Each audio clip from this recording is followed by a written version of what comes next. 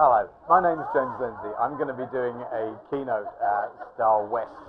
It's called The Irrational Tester, and it's all about the biases that we as humans have built into us and about the way that they affect us as testers.